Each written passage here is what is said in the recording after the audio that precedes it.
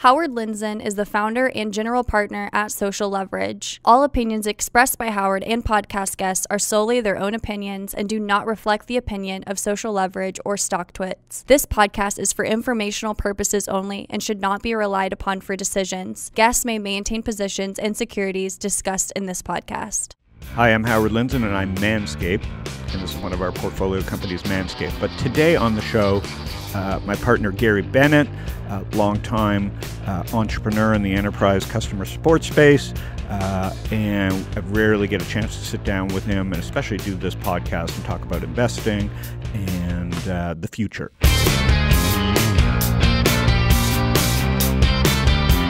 Gary, Howard. not Gary B, Gary B. Welcome right. to the pod. Thank you. This is Gary Benitt. How old are you? 44. I don't think when I mean this is audio, so I think the the rule of, of video is don't wear a polka dot Oh, shirt. man, so this could up. be this could all be blended together. But you're you know you're learning. Yeah. So you're on the pod, Gary Benitt, good tan, because you live where? San Diego. What part of San Diego? Del Mar. So Gary, uh, we have some great stories and VC insights and investing insights to share. Gary is my partner, third pod in the tripod that is social leverage. We have a pretty good origin story that we'll get into together. Um, but first, why VC? Uh, you know, I'm going to get into your background, but why VC? Yeah, I think, uh, you know, it started for me by angel investing, right? So uh, actually going back before that, I was And an by angel investing, your own money. my own money, yeah. But uh, before that, I was an entrepreneur. So I, I was at the other side of the table and uh, helped start a few companies. And uh, along the way, had some capital to invest and some great relationships with within the founder community. And uh, I want to see founders succeed, and I also want to be part of that ecosystem. And so I started angel investing, What year? um, really in 2011. Was it with uh, money you could risk, or was it risky money? No, it's money I could risk. Okay. It's money that I could risk. Check size, Um, size but was I would 25K? say I would say as an angel I had different motivations than I do as a VC. So Yeah. it was more about learning and the experience and truly being p- part of the founder journey. And it wasn't really about making money. Certainly, I had an expectation not to lose money, but it was more about um, being in the flow and having that experience. Out of San Diego First Angel or New York? Out or of San Diego first investments, um, and then mostly out of San Francisco. Okay. So, just just quickly, um, you joined Social Leverage December 2014. 2014. So we were, we together have invested uh, 20 million together in Fund Two, and now we've just closed 45 million. Don't know if it's legal or not, but uh, Fund Three, we're investing out of Fund Three. So That's we've right. been we've been invested together for five years, but we've known each other longer. So I'm going to quickly give uh, our origin story. Uh, mainly because uh, I'm waiting for your Adderall to kick in. Just you know how trusting you are. You're the first. I, I haven't told I trust what's in you, no problem. I have a lot of Of meds, course. and uh, I steal them from my son. So it's it's kind of reverse. Whose name's on that label? I can't read this. the font is like Twitter at this point. Uh, so, but you, you you're clean as a whistle. You don't take anything. You're soylent and fasting. I used to mostly. be silent. No more. We'll dive into that too. But you're very trusting. Gary's as clean as they come. Uh, he lives in the future, uh, both software, product, people, and food. I think you live in the future with so. food and diet, which is impressive. Uh, so you are you're not a millennial. You're what what generation are you? Gen X is that the You're one? Gen X, so Yeah. you're tailing end of Gen X. So I, I, I mean, so so comfortable taking risks around living in the future, which you know is fun for me to watch. I make fun of them a lot, but I mean, so trusting, and and, and I think what makes you a great VC is you do, you trust the right people. Uh, you take risk. Uh, this could have been an am. You know It that I take been. Ambien, Yes. and I, you know I also This occasionally a- take five milligrams of they call it be a Adderall, but not it's such Ritalin. a great show if that was the case. Well, I want to have my show where I give them, and they don't know if they're getting an Right. Ambien or Ritalin 30 minutes Blue in. If they're sleeping, they took the Ambien. Right. So, but you, I gave Ritalin. So you've never taken Ritalin No, before. no. So for me, Ritalin is fantastic. Or I'm, even though I'm off key, off already, off on a tangent. uh, that you know, I hit this age, and I think you'll hit it in six, seven years. Hopefully not. Um, I can't explain why. Uh, where all I do is manscape and think about, oh, I need energy. Uh, and so five milligram. You know, I was in with my son, and we were talking about he needs, you know, high dosage. He doesn't take it, but he needs high dosage to to function in school, to concentrate. He has very low RAM, I would call it, meaning he loves life. He listens. Doesn't matter how much he listens. You know, the RAM isn't there. And so, you know, one day we are talking about why he doesn't take drugs, and, and the doctor looked at me. She goes, "You know, you." she saw. She diagnosed me in his meeting. Said you should try this, and I said I don't want any more drugs. And she said, you know, she went through why she thought it could help me, and sure enough, you know, a couple years later, five milligrams here Yep. and there. So you just took your first. well, I've seen you in meetings, so I know it works for you. Okay, good point. So, so, so where we met, I was living in Phoenix. I started Stock StockTwits in Phoenix, and my investor in StockTwits, Tony Conrad, I told him I'm moving to Coronado. Tony said, "Oh, you got to meet uh, Gary Benitt and Alex Bard, who are great entrepreneurs." Uh, keep an eye on them. They're in San Diego. I think that's how I met. How did you know True Ventures? So we we were introduced to Tony because uh, we had both been at AOL. Um, yes. So I think that was the connection, and um, I don't know. Right around the same time that we were meeting you, we were hitting True Up for an investment. I think Okay. into our last company, which you and Tom in- invested in as So well. So maybe they had already committed, or you're not I don't really remember. Gotcha. Actually, the way I tell the story, um, I saw that you were moving to Coronado because Twitter was a thing and you Yeah. were out there. And, you know, the San Diego community isn't all that large. So when someone like you moves to town, uh, there's there's a desire to get together and, and meet. 2010. 2009 ish. Wow. 2009. Okay, yeah, right when yeah. I moved. Okay, Yeah. so so you see So that I think that uh, I think we actually reached out and maybe at the same time Tony connected us. Um, so I don't really remember the, the exact. Yeah. So so I'm moving. I'm just picking up my life after the crash here in 2008. I'm taking the family like the hillbillies to Coronado. Uh, we're not looking for oil. We're just looking for uh, not real estate and a community that's not uh, blown up. Mhm. And uh, so we we get an interview. We hit it off. I see. Yeah. I sit down with you. I don't meet your other product. I meet- you and Alex. We hit it off. Tom and I write a check into what then was Assistly. Correct. So let's talk quickly about Assistly and customer support because this is this is basically our life together. You were starting Assistly. What was Assistly? Yeah, I was starting Assistly. It was my third entry into customer service and support. I had done it two other times, once in New York and once in San Diego. Um, both of the prior companies were more enterprise focused, and this was more SMB focused um, because of our prior company, which was a consumer product company. And so we wanted to sell a product where people could deploy it immediately, they could see the benefit of it quickly, and the user, we could get immediate feedback. So it had to be effectively a SaaS application that was very easy to set up. And at the time, 2009, 2010, uh, Twitter and Facebook were starting to become used for for social for customer, Customer support. service, and um, we felt that a platform that was SMB focused, but also with a social uh, social channels built into it from the start, would actually be really beneficial. Which that right in segment. our wheelhouse. Even though right we were, we're not. We at the time we were not enterprise investors, but But you had a couple of investments in that space. Yeah. Yeah. So so we get your pitch. We invest. How much did you raise? Uh, we raised 1.7 at that time. That was a Series A. So one point. Oh, the good old days of Good old- 2010. right. So so it was a Series A. It was, it was a Series A. It was labeled a Series A, Had you but already obviously, was- some no, that was our first money in. Okay, so you didn't go seed. You went straight to A because you were mature entrepreneurs, Yes. and it was led by True. It was led by True, and you guys were the only other investors. We put 100k in for us. This was before even our first fund. That was a big check. That's right. So, so for us, obviously, and I didn't take notes. I, uh, but I would think if we wrote a 100k personal check back then, Tom and I, that's a big check. So Yeah, we was a good valuation. and we loved that business. Right. I don't know if the valuation was that good. What was the valuation? For you, I mean, it's four million pre. Come on. Yeah. That is good. Yeah. So I mean, th- we were fourth time were entrepreneurs.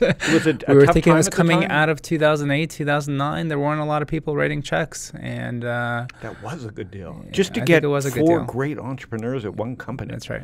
So, so I, so message to we're cheap. Social leverage itself right. is cheap, and now you have a little insight to why, That's even right. though Gary himself lives like a rock star and invests like a wild man, takes more risks than me. I think we're entitled to be cheap. We think so. lived we Yeah. lived through a crash and four million dollar A rounds, and you guys had a product. May not have been complete. We had a there product, so we self-funded it. We founded the company in October of 2009, and we self-funded Assistly.com. Assistly, assist.ly to begin with. Right, because Libya was the place. Uh-huh. Was it Liberia or Libya? Uh, Libya. Okay. And uh, yeah, I think maybe we had assistly.com at the same time, but LYs were cool. Okay. Bitly and And I and know, and I think what made it hard for you too. F- we can talk about this. Four founders. Yeah, I don't know that that made it hard, but it it, it was somewhat more difficult Equal? because one, we were equal, which f- I so wouldn't recommend. I, to I think. VCs frown on that. Yes. Except like a True, who was like kind of a they frowned on it too, but they understood that we were experienced and that we Mhm. had gone through the journey before, and they appreciated it. Although there was some some conversations around that. yeah.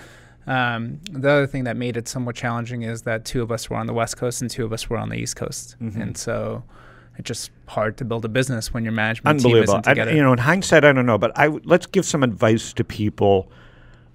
I don't think you pitched it as four founders. no, we did for sure. You did. So obviously, I, I don't listen. So nothing's changed. But we were I the wasn't business guys and you just- because I had already Yeah. crushed it with Buddy Media. It was husband and wife, and back then Yeah. you weren't supposed to invest. You know, Mike and Cass were like voodoo. Yeah. Don't do husband and Right. wife teams. Uh, well, they broke that Yeah, rule, and that's the, I don't that's the believe in any exception. There's a few of those exceptions, but And I don't even know if they're exceptions. There's just the people. Yeah. We're investing in people. Is there any tips that so did people pass on you because of, of you were four?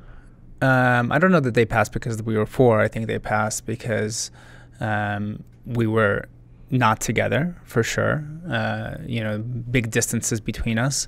At the time, Alex and I were living in San Diego, and it wasn't immediately clear where we would start the company out of. We ultimately decided to build it out of San Francisco, and It Alex was- and I that was commuted. whether that was a huge, huge. We didn't.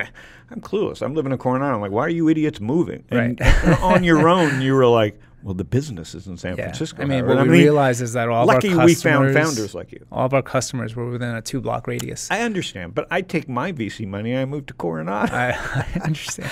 So, and my VCs didn't stop me because my thing was, listen, you know, and, and I think maybe they should have. Yeah. Um, but I was like, I can attract talent Well, wherever, and I'm looking for lifestyle, and I can build, some, you know, uh, social network. The proof is I can build it from Coronado. I think it was, Yeah. I think it was, I, I think I undermined myself not knowing. I think Right. I could have gotten better advice about like what I was going to face. I didn't give you this advice. So Right. what did the What-? Well, before you go there, what, when you were building Wall Strip, where did you where did you do that? Oh, I was living in New York. you were living in New. York, and that was a very quick run, right? It was Well, I wasn't living there, but like Lindsay and the yeah. team were in New York, and I had to be there. But you so were actually living in two Phoenix, weeks a month. Yeah, you were mostly there. yeah. And so we came to the same realization that we could build a big business in San Diego, but if we want to build it bigger, faster, I think more it made a efficiently, it made a big difference. Now you had to live in an apartment and like do a lot of tra- I mean, you guys had the grind. You had the four million valuation. You gave you had. So let's do the math here quickly because this is not. This is not. We don't advise this to other startups because we would frown on other startups that come to us and say, "I'm starting with 25 percent of the company. Right. Uh, there's a four chance way of divorce. That's right. Uh, we're not living in a major city, Yeah. and trust us. And we're giving up forty percent of the company. No, For that first round? Yeah. Yeah. So you were already under 30 twenty something percent. percent. Yeah, for before sure. we start. That Yeah. deal doesn't get done today. I think the the exception to the rule again is that um, three of us had known each other since seventh or eighth grade, uh, lifelong friends. This was our fourth startup. Uh, if you count all four of us, we had known each other for 18 years plus. Yeah, I remember. So it's um, and by the way, we had Deep Domain. This was our third company in the space. So. Uh, I think the deal does get done. I think uh, well, it deal gets done. done because at that valuation, Yeah, you thi- hold your nose and go, that's what it is, "Fuck, yeah. these are great guys." That's right. Hopefully, they get along, but the math wasn't great for you. unless you get a It- massive well, exit. so we believed that we were building a, a huge company, and so really the numbers, you know, the numbers at a ten million dollar exit, no, they don't make sense. But if you believe that you're building something that's going to be uh, significant in the world and that you're going to have a large outcome, then your percentage ownership of it doesn't matter as much as how big the overall piece is. Yeah, and we'll get to the final story where you sell to Salesforce and and live happily ever after in your Tesla, drinking Soylent, taking Adderall from strangers. But call you a stranger. uh, next step is, um, you call me and you say we're moving to San Francisco. I'm like, Yeah. thank you. I said thank you Yep. because no one wants to live You in came to San a couple Francisco. board meetings. too. Everybody lies and says they like to live there, but listen, unless you, it's a it's a crazy place. But uh, back then it was a great place. Still, 2009. I think San Francisco, um, just like I tell everyone that they should live in New York for a couple of years. Um, if you're in the tech space, if you're in the tech world, you've got to live in San Francisco for a bit. I'm not saying that you've got to be there for you know 10, 20 years. You think there's an edge? I Still think that in there- 2019. I think that there's um, a network. I think that there's a, a way of life. I think that there's a way of thinking about things. I I think for sure there is. Yeah, so you couldn't have gotten the exit you did we could have, but From it San would likely would have taken a lot longer. longer, and I agree. And so God bless. So so you moved to San. y- y- y- your wives what and the wives story. You're both married, you and We were Alex. both married, so and when wha- I, what about the other two families? They didn't have to move in New York. they didn't have to move in New York. So so uh, so Brad's been Brad's had it pretty good, and that's probably why he put on like 400 pounds because he didn't have to he didn't have to travel. No, with customer, he's actually lost a lot of weight. I'm saying, but but uh, during the Assistly and no, he was he was kind of at that weight with prior to Assistly. But today he's lost how much? 200 pounds. uh, over 150 for sure. Over 150. So, so you you you and Alex commute to you have your families in Del Mar. Uh, we were living in Carlsbad at the time. You raise a million six. What happens next? Million seven. Million seven. Because we're counting the hundred from you. Hundred- yeah, the smart hundred. so you move. So we moved. We got an apartment, and uh, Alex and I were living like we were living post college, and uh, we were basically up there Monday through Friday and back home for the weekends.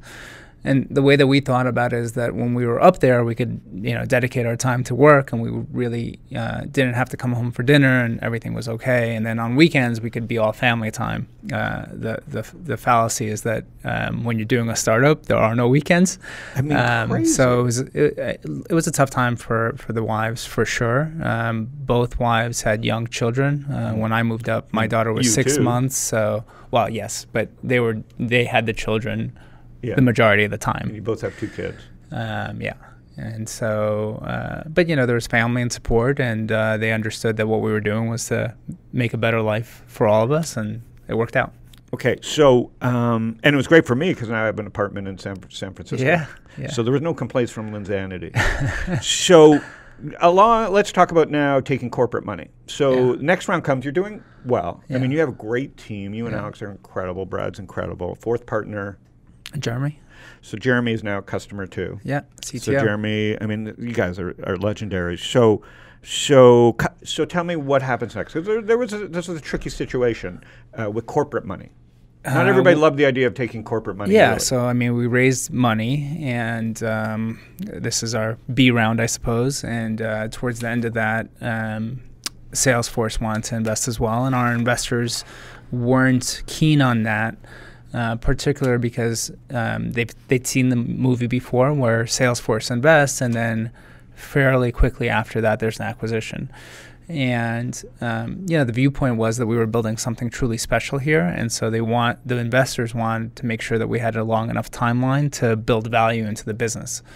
Um, but we saw a partnership with Salesforce being meaningful in that um, they already had a service product, but it was for the enterprise. Did And they already own Desk.com? uh, domain? Yes. So Mark Benioff, uh, the CEO Wasn't of. Salesforce, uh, owns a lot of domains, and Desk.com happened to be one of them. Yes. So he, in the back of his head, maybe he was thinking. Maybe. Because I remember, because I was an investor in TweetDeck and Buddy Media and like looking at Hootsuite and and everything became enterprise to me. I wasn't investing in enterprise. I invested in Yeah. TweetDeck because it was enter- Yeah. because it was consumer. Right. It made Twitter usable. I invested in Buddy Media because it was consumer. Uh, and meanwhile, Salesforce comes along and is is is realizes this is the future of enterprise, listening and and and search. I think what made Salesforce interested in us is that we had a very um, easy sales process. So it's basically onboarding, Onboarding. yourself. And uh, at the low end, Salesforce customers typically didn't love the product, and it cost Didn't Salesforce Salesforce. Did, did not love Salesforce um, because it was too complex. You, you need need an integration 100 maybe. partner. Um, and the Not sales sales process is expensive because you still have to walk a customer through the journey and uh, show them the value and help them get onboarded. And so it was an expensive proposition at the low end. And so Salesforce was interested in understanding from us how we built a product that could easily onboard customers. Mm-hmm. And, And so did they find you? um, I Was it think Ryan that, or was it Billy? I think that we were introduced by Mark Suster actually. Oh. Um, okay. and I'm not sure who the introduction went to. It might have gone to Alex Dayon or it might have gone to So who led Ryan. the B, which was really Uh, a seed plus? So really, Bullpen, uh, Oh, Bullpen, did their investment. first deal Who ever. was Paul Martino. Guy's a legend. So it was his first deal ever, um, and it was They were before doing like post seed. They were the first the guys to like yeah, create exactly, this post seed fund. Exactly. So they Ahead of the priced it, and then True came in, and uh, Index came in. Um, Index Index. Ventures, yeah. Who would index? God, they've had a Uh, run. Bernard. Were they good? uh, Were they good to you? Bad memory. We haven't stayed in touch. Okay, Um, but what I a mean, run the, they've had. the, the, the run wasn't so long. So we did that investment in November, December of 2010, and we sold in September of 2011. So, so another eight, nine, nine ten months, months, later. Yeah. So sales comes in. This was interesting. We, I don't know what we're allowed to talk about, but so the the B round was done at what sixteen. Sounds right. And the concern from the VCs, not from me, because I'm an angel investor. You know, this is the lesson about angels versus VCs. Because I like to consider myself an angel, but I have outside money now, so I am a VC, uh, or whatever you want to call 'em, micro VC, or were micro VCs. So I was ecstatic. I mean, you go from four to 16, you're not fighting, uh, you're getting some traction, and Salesforce coming in, I'm like, whew, head. I'm thinking of the world as like head. right. Mark that bitch up. And you guys are great founders. You're doing everything right. But the VCs did not, were not thrilled. They weren't thrilled. And they, because they want you to be a home run, unicorn. Yes. And there's unicorn potential in hindsight. I think so. and so 11 months later, Salesforce comes in. Now, this is the genius of Salesforce. They came in with a number Mm-hmm. that was like perfect. On the acquisition side, Yeah. um, uh, That's their skill. I mean, perfect enough that it got the deal done. I guess. Perfect because it made you really, I think, great companies, Yeah. whether it's YouTube, got off, they get offers yeah. and there's that moment. It's Yeah. a good enough offer. Yeah. Like when, well, it was Facebook definitely got offered way ahead of our revenue. Right. You know, any way that you slice it, you know, trailing 12 months, future year, however you slice it, it was way ahead of any revenue that we had done or potential. And it was really a strategic acquisition where uh, they believed that we can infuse some portions of the Salesforce org with some of the things that we had done, Mm-hmm. some of the innovation. So we talked about easy onboarding. We had some pricing innovation. We had some product innovation outside of onboarding. So Timing was great. timing was great. Um, you know, one of the things that we did was offer a freemium product in customer service. A lot Mm-hmm. of people did trials, but we also did free. And so there was a lot of people talking about us. We had a halo effect from kind of that marketing Yeah. uh, that we had done. And, um, you know, I think Salesforce really bought into uh, the overall uh, vision that we had, uh, which was, you know, innovate on things other than uh, product for sure, but other other than product as well. Because business business model innovation really moves the needle much more than just product. So you go to sales. So we agree. You go to Salesforce. Can we say the number? It was 80? Yeah, eighty. Eight, and was there an earnout too? Uh, there were handcuffs to make it attractive for us to stay for was there three money years. on top of the 80 if you stayed? Uh, I mean, they basically gave us retention bonuses, so, Retention bonuses, yeah. which worked out pretty good. which worked out great. So what was the size of Salesforce at the time? 6,500 people? Okay, so it was a big company, but We were- 6,500 we- today, what are they? We were 39 people, so the integration team was bigger than the, our entire company. but yet the Um, vision was big because you were now taking over Desk.com. So uh, I think a year into it or six months into it, we rebranded it as Desk.com. Okay. Um, And when you left, how many people were there? 35,000 people now. When I left, it was 16,000 people. That was So it went from six, four years later, still only 16,000? And now they're Yeah. what? 35. Oh, 35,000. So they've, that's a lot of people. That's a lot of people. I could be wrong, but it's close, directionally accurate. And market cap today, I don't know. close to 100 maybe. I was going to say over that. And when they bought you, do you remember what the market maybe. cap was? Um, in the 30s. So you did well just holding the stock. And obviously, maybe we should we could should have just kept buying it. I think so. And do you So own any when, we uh, when we sold someone on the corp dev team, I won't name him, but uh, he told me that traditionally Salesforce stock doubles every three years. well, Ryan. and that's Ryan's made a fortune. He, like he's and like that's the actually Costanza happened of ever since too. So uh, he was right then. I need to and, have him on the uh, podcast. right now. Ryan's a legend. Yeah. So Ryan was was doing corp dev. He's now running the Microsoft account. He's running big accounts. He's don't know if running big Microsoft accounts, and he's been there what twelve years. He's done right? So young Amazon. He's done Slack. He's done everything. Quip. Legend. Yeah. There's some quiet killers out there in the For sure. So he did this deal. He did this deal. Yeah, and so I remember Ryan calling me after this deal and go, "Who the fuck?" Like he took me out to lunch. He goes, "This is enough. I got to meet the guy who we bought four companies in your stupid ass portfolio." Yeah. So we become It was good a friends. good and run he's for a- you. What, six months? It was It a great run. They bought four companies. They bought um, Buddy Media for eight hundred plus million. GoInstant. Uh, that was the first, first magical, like Mike and Cass. Wow! But Yeah. the, I was on the board and, and an angel investor there. They bought um, GoInstant pre pre product. Right. I think it was the highest IRR the company Probably. I've ever had. Yes.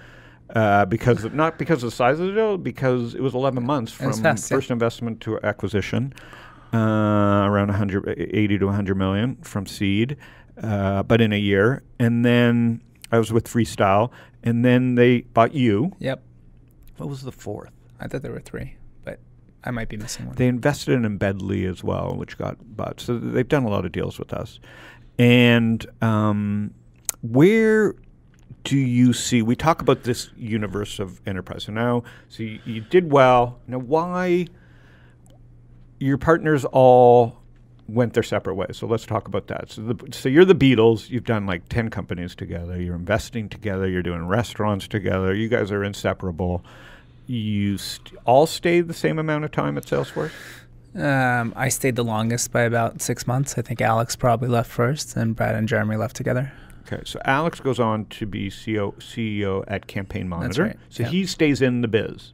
He stays in the biz. His uh, his thought was that he didn't want to start something from zero again. He wanted to now uh, scale something to the next level, and so he was looking for those opportunities. And Campaign Monitor came along, and he jumped on it. So he's just he's got it in his bones. What what made you turn down stuff? Because obviously you could have gone. I remember having these discussions. What at the time made you think? First, I want to be a VC. Second, I want to move home. Third, social leverage. Like I don't like. Let's So the- go through the- this because working with me is a nightmare. so the very start of my career was actually at Andersen Consulting, and I lasted probably less than six months there. Alex there too? No, Okay. he was at uh, Dean Witter, Oh, Dean Wayne.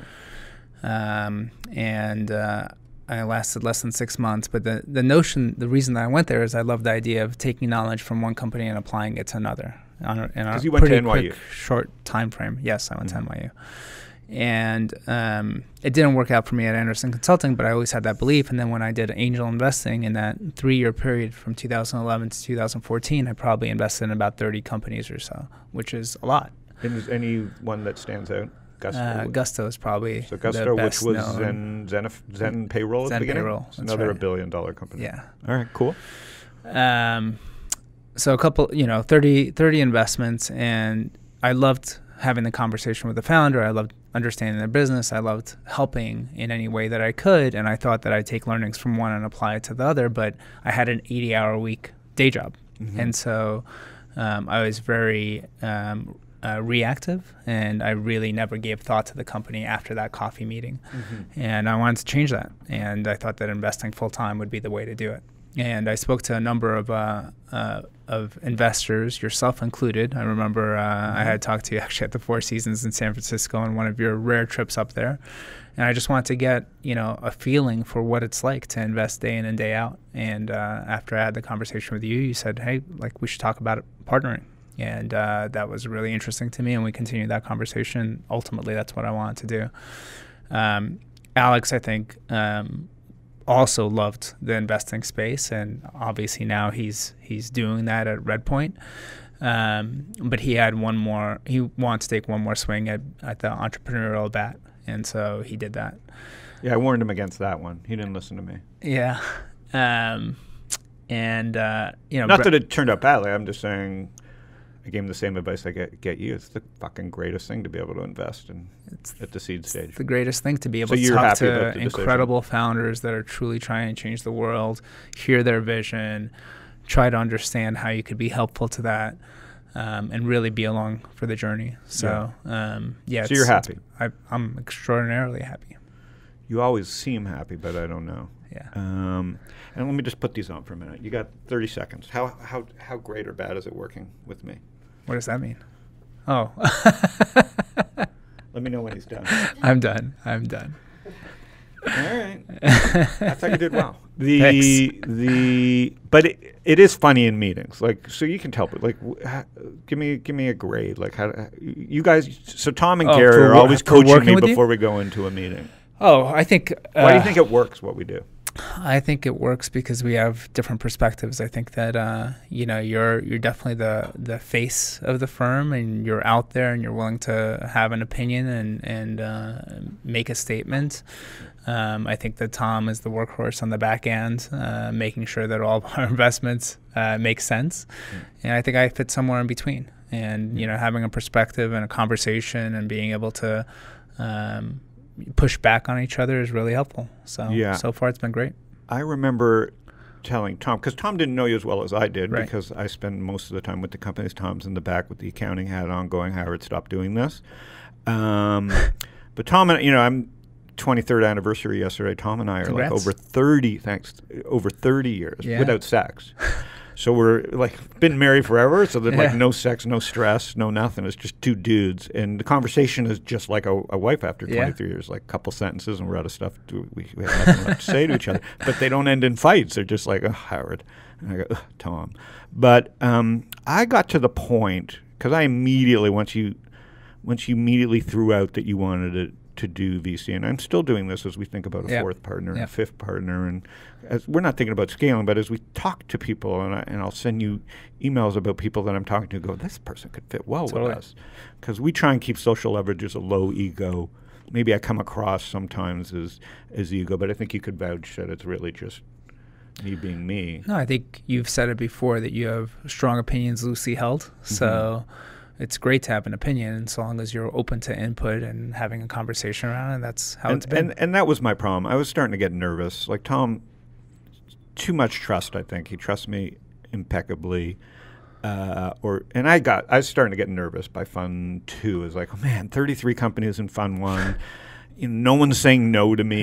right. Uh, I'm not medicated any well. deal. I'm still CEO of StockTwits. Yeah. People are giving me money, and I'm like, fuck. I was so excited that someone uh, like you was ready to do this. Uh, we weren't recruiting a third partner, but for me, is like why I like the size, and I think we could go bigger, not bigger in dollar amounts, but like find other people that think like us and just want to get shit done.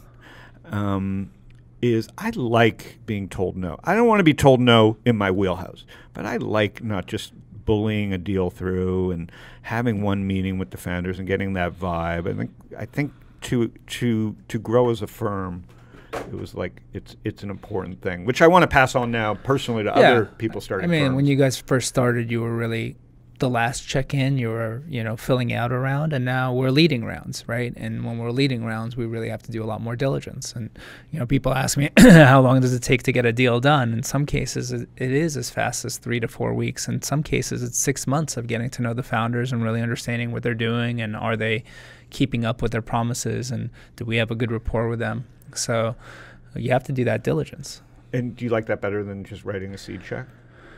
I like in a row. having uh, less investments and more ownership in them. Yeah, Uh, it's I like- really I love that too. I Yeah. don't I don't know if I could go back to just I do it occasionally, write small checks, um, but it's just not the same. Yeah. because the founder it's n- they don't want to keep you up to date. Right.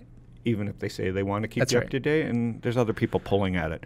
Okay, so uh, what's it like living back in San Diego? It's amazing. There's no living in San Diego and, and doing in San Diego. You no, I mean, that, well, for sure there are in certain professions, but I think for uh, venture capital, there's there's more deals to be found outside of San Diego. how do you decide on your schedule and when and when to get up and go? Um, Because I have my own thing, but how do you do well, it? I basically, you know, I, I started as the San Francisco partner. I was living up there, and then I moved down. And Mm-hmm. But we uh, didn't put stress on you. We no, you didn't put it. stress on me, but um, but I made a commitment to myself that I'm going to stay the San Francisco partner. Yeah. And I part think it's important. Like you can't just do what you do in San Diego. Yeah, and part of that is um, just staying connected to our existing companies and trying to be helpful to them. Part of that is networking with other VCs, uh, whether they're at the seed stage and co-investors with us or the Series A and B guys. Uh, part of that's finding new opportunities. You, you have to be in the flow, and so I made a commitment that I'm up there a week out of the month at a minimum. Uh, going up there tomorrow again. Um, I'll be back there at the end of May as well. Have some Um, edges. You can stay with Alex or friends. yeah, sure. I mean, I've got lots You of don't have to do friends. It's not a it's not a difficult thing for me to do. It's a easy flight, and uh, I think that it it adds value to what we do. So I go to New York a week out of the month. I go to So sorry two weeks sorry out of the month? sorry. I go to San Francisco a week out of the month. I go to New York probably a week every two months. Yeah, and we'll talk about that. And um, you know, there's I'm, New York- I'm the opposite of you. I'll Yeah. go to eh, not, I'll go to L.A., San Diego, right. but I'm in New York a week a month. That's right. That's how we cover Yeah. the Earth. And how And do you live in the of the future? How do you think you live in the future a little bit? Um, Because you're a geek. Yeah, I'm a geek. I mean, like, look, I we talk about this all the time. I think uh, I've been li- living the Tesla dream for a long time. I think that's one way for me still to. bullish. I'm still bullish. You haven't gotten nervous the last few weeks. Um, I always get nervous, but I think that uh, you know Elon is changing the world in positive ways. I think that um, the infrastructure advantage that he has is not something that the other car manufacturers are even looking at. Still, they're still trying to get a car to market that's on par with what he's done, and I think that advantage will play out over time. And how do you do it with? How do you experiment so much with food in your body that way? Um, Do you think it's that important? I, I find it weird, but So not weird like you're weird, like weird the- like I can't. The, how do you break the habit so fast and go from like meat to soylent, then to vegetarian? What are what are you now? I'm mostly vegan. And, vegan uh, means no egg, no cheese. It means no meat, no fish, no dairy. You look yeah. good. You feel good. I feel great. I feel great. I feel like there's I have more. Well, so there's two things. So vegan and then uh, intermittent fasting. So I try to skip doing both? breakfast. Yeah. Okay, intermittent. I do the intermittent Yeah, too. and but this whole like you're not doing the two day like Mac. No, I'm, I don't do that. I'm a little nervous about that stuff. Yeah, I don't do that. So I skip breakfast, which is easy enough to do. Totally. And uh, I don't miss it, and I feel like I have more energy. And same thing with uh, with uh, vegan. You know, I never thought that I would be a vegan. Like I love meat. Meat's awesome. Um, and Jeremy from Kustomer uh, told me about a documentary that he had seen that got him Which to one? stop eating meat. And I said, one was it again? I said, don't tell me what it's called. I don't want to see it. And then I ended up watching it on Netflix on my own without realizing. What And was it I said, called again? "What was it called?" He said, "Cowspiracy." So Cow? if you cow, cow like conspiracy, but cowspiracy. Yeah, I, love, I, I um, just had a steak last night. I love steak. Yeah, like look, I'll I'll have the occasional steak too, but I'd say that ninety five percent of my meals are vegan. So Hmm. Okay, and, and and this whole I I, wha- I was right about Soylent. It's fucking stupid. Is I mean, still a thing? I I don't know. You- I hear about it much less. I know it's still well. So I think that's part of it out you being a risk taker. So you wouldn't drink. I tried it now. out. I tried You it out. try everything out. Yeah. So so you live in the future. I, I, let's talk about worst worst investment. One that like kind of shook you. Is there anything that By the like, way, shook you? can we talk about the vegan thing for one Sure, more sec? yeah. Living in the future, so Beyond Meat. Sure. Have you seen the stock? Uh, do you own it? I just bought it today because because this is an this is about me living in the future and the conversation It's that gross. we just But had. why would you but eat this a is the burger? future. Just go have a fucking cucumber. It's not gross. It tastes incredible. It's so just put a good. cucumber on the Barbie. Why do you got to put like? it's not the same thing. I don't get it. It's a scam. You're living. Some of the shit that you do is you're part of the scam. It's like a cult. But it's the future Just too. Just- okay, just- but I'm allowed to make fun of the future. Yeah, Okay. listen, you're making money. There's a million ways to skin a cat. You're a better Totally. investor than me, I think. Like, I, don't- it's unbelievable the, the, the risks that you're willing to take. And I always try and talk you down. Yeah. Like, I talk a big game, but I'm very conservative. So, um, so we've covered a lot, but uh, is does San Diego have? Let's be honest with each other. Yeah. Like, because I don't. I, Yeah. I, I love San Diego. Yeah. and I'm not feeling it. Like, here's what I feel has to happen. Then you tell me For the tech scene? for or- any scene. for any scene. It's like a, Okay. an- it's the greatest city that's not a great city. The airport's phenomenal. Yep. I, I don't jive where you. I, Del Mar's beautiful. I didn't jive where you lived before inland. Right. If you're gonna, if you're living in California and not on the ocean, fucking move to Arizona. All right. Pay less taxes. I'm with you. But you're on the ocean. It's spectacular Yeah. for biking and hiking. I've been there. I love it. Uh, I think La Jolla is a joke just because of the traffic. What?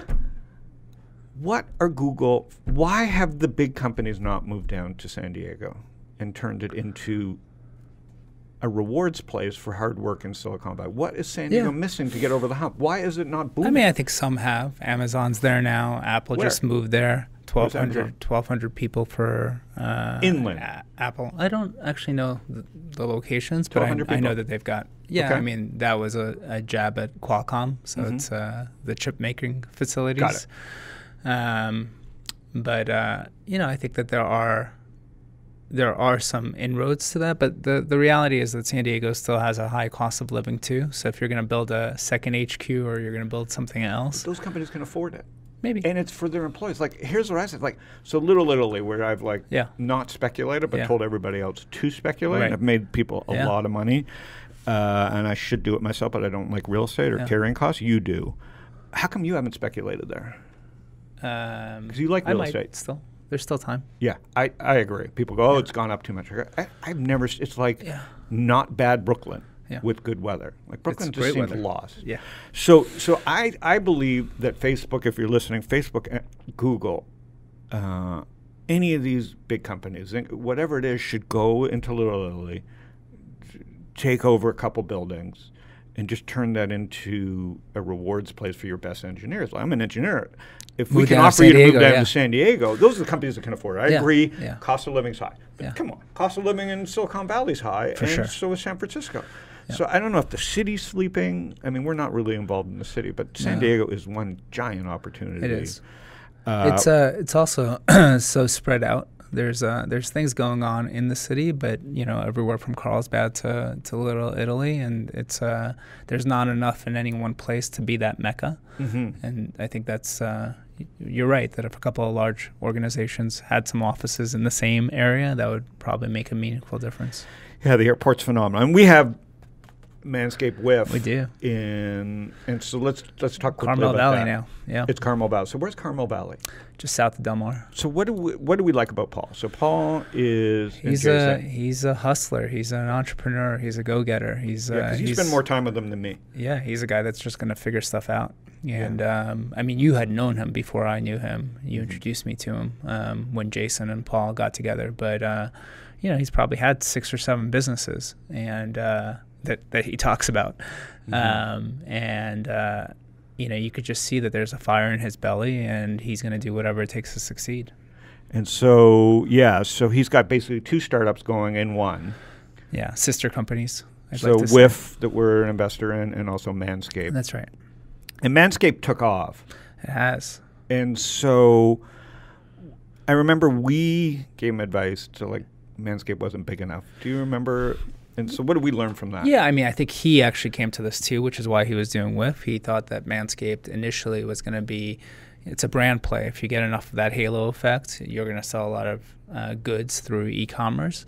But there was no real software aspect to it. And so with Whiff, what he wanted to create was an opportunity where he would really get to know the consumer, get to know the tastes, understand kind of their their habits, and through that be able to sell them more products. Yes. uh, scented products in, in the case of Whiff. Yes. And and then let's talk about uh, one of your great investments for our fund, Kustomer.com. Yeah. Let's Love those can guys. we pull up the site quickly? We'll end with this because this is really the future. I mean, this you and I agree on one thing. Yeah. Well, Jeff Bezos, obviously, the customer is everything. Yeah. And so tell me how this came. So Sicily was like your, you had eAssist, Yeah. IPO, blah, blah, blah, 99 bubble. I'm not going to go there. Then you do Assistly, Well, first we had eShare, eShare. then eAssist, eAssist. then Assistly. A Then lot of Assistly. E's and assist. So a lot of assist business. Yeah. What made you come back at it again?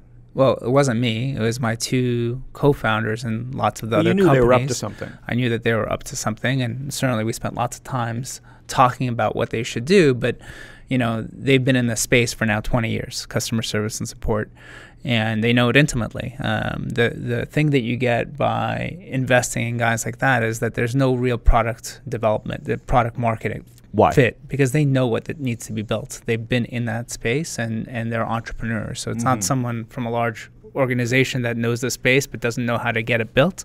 It's guys who have built it before and have seen the changing dynamics and now appreciate what needs to happen. So I, I'd say there's two core innovations that these guys have done. One is um, at Assistly, we built a beautiful application that anyone can get up and running It, for a low price. for low price. Yep. Um, but at some level of scale, there's a business maturity aspect where you need a platform. You need to be able to extend the business processes that you're doing, and we didn't You have can't just be a that. product. You can't just be a product. You can't just be an And application. you knew that at Assistly, maybe? we learned it at Assistly when we were acquired by Salesforce. so you know Salesforce it, is like, a platform, That's right? not why you sold it. That's not why we sold. Okay. But what we saw is that our best customers eventually, their upgrade path was to go to Service Cloud, right? The So it was a Salesforce product, which is a platform. It was a good acquisition for Salesforce. It was in a the great, sense that uh, they yeah. I knew think what I, they were getting. I think I think it was a good acquisition for Yeah. Salesforce for sure. Okay. Um, so um, at a at Kustomer, the notion was we're going to build a beautiful application, but it's on top of an extensible platform. So that platform is what gets companies like Ring excited. So Mhm. Ring has you know thousands of agents now using the product, and they're ecstatic because they integrate it into every piece of their workflow.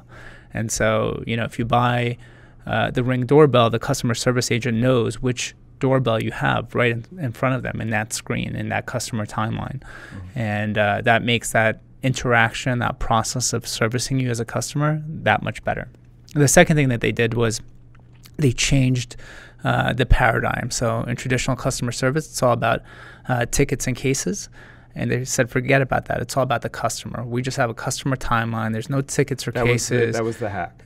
those The two innovation. things together, I think, I are the big innovation. Yeah. And the fact that they've had two decades e- each of experience in the space gave them the ability to build a platform from day one the right way. hmm And the company's now has raised how much? We were seed. you Um, were seed. You led the seed. Uh, we re- led the seed. That was about three million bucks. With- then with- another with another ten. great then another with Ed at thirty-five. Yeah, So how much twenty-eight. total have they They've raised now? close to hundred. Yeah, so they've raised 70 close to maybe, 100. This is in four years?